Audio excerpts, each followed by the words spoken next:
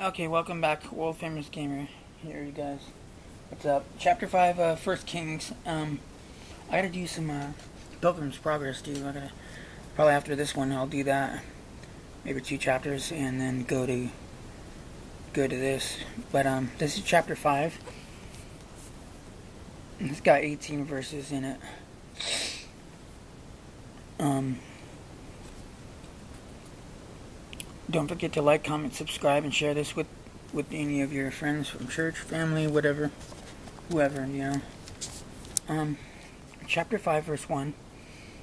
And Hiram, king of Tyre, sent his servants unto Solomon, for he had heard that they had anointed him king in the room of his father. For Hiram was ever a lover of David. And Solomon sent to Hiram, saying,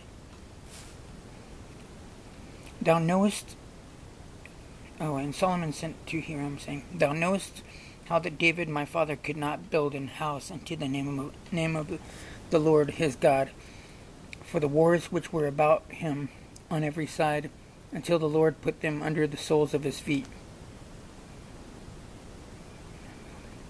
Hold on. Could not build an house unto the name of the Lord his God, for the wars which were about him on every side, until the Lord put them under the soles of his feet. But now the Lord my God hath given me rest on every side, so that there is neither adversary nor evil occurrent. And behold, I propose to build an house unto the name of the Lord my God. As the Lord spake unto David my father, saying, Thy son whom I will set upon thy throne, in thy room, he shall build an house unto my name. Now therefore command thou that they hew me cedar trees out of Lebanon, and my servants shall be with thy servants, and unto thee will I give hire for thy servants, according to all that thou shalt, shalt appoint. For thou knowest that there is not among us any that can skill to hew timber like unto the Sidonians. Wow. So the Sidonians are skilled in uh, hewing timber. That's pretty cool. And it came to pass when Hiram heard the words of Solomon that he rejoiced greatly and said,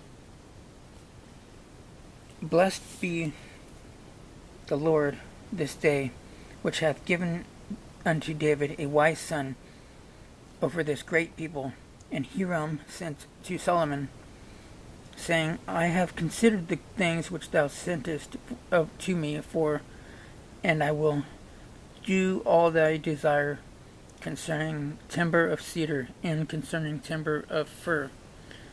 My servants shall bring them down from Lebanon unto the sea, and I will convey them by sea in floats unto the place that thou, that thou shalt appoint me and will cause them to be discharged there. And thou shalt receive them, and thou shalt accomplish my desire in giving food for my household. Hold on, let me. Wow. Bringing all those what, all those trees unto this down from Lebanon unto the sea, and I will convey them by sea in floats unto the place that thou shalt appoint thee, appoint me, and will cause them to be discharged there, and thou shalt receive them, and thou shalt accomplish my desire in giving food for my household. So Hiram, oh snap. So Hiram gave Solomon cedar trees and fir trees according to all his desire. And Solomon gave Hiram twenty thousand measures of wheat for food to his household, and twenty measures of pure oil. Thus gave Solomon to Hiram year by year.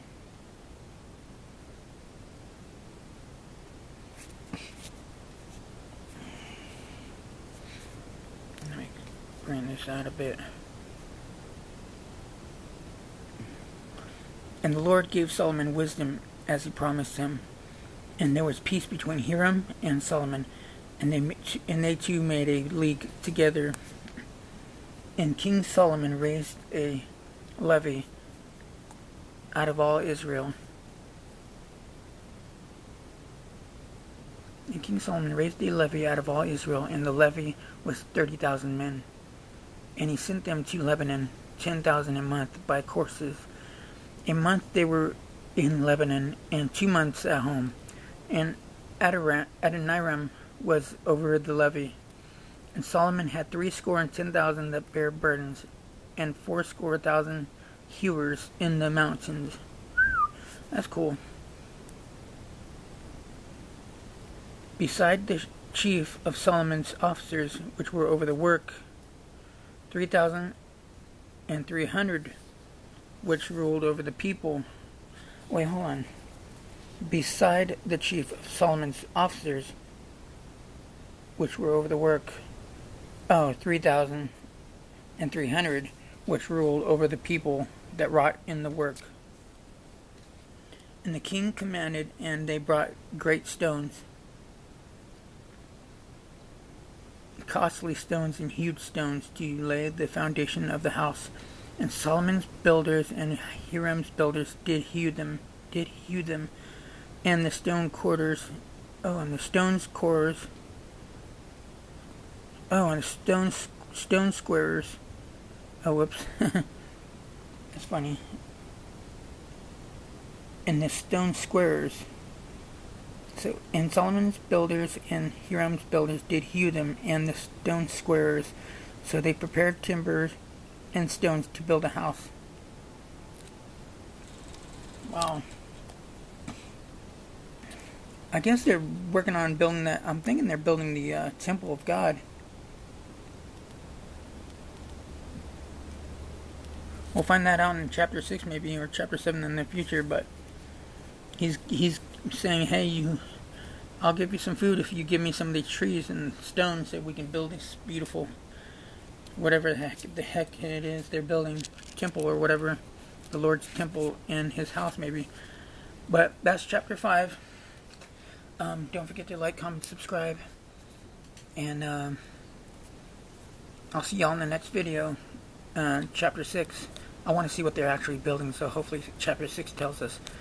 Don't forget to share this too. Love y'all. God bless and peace out.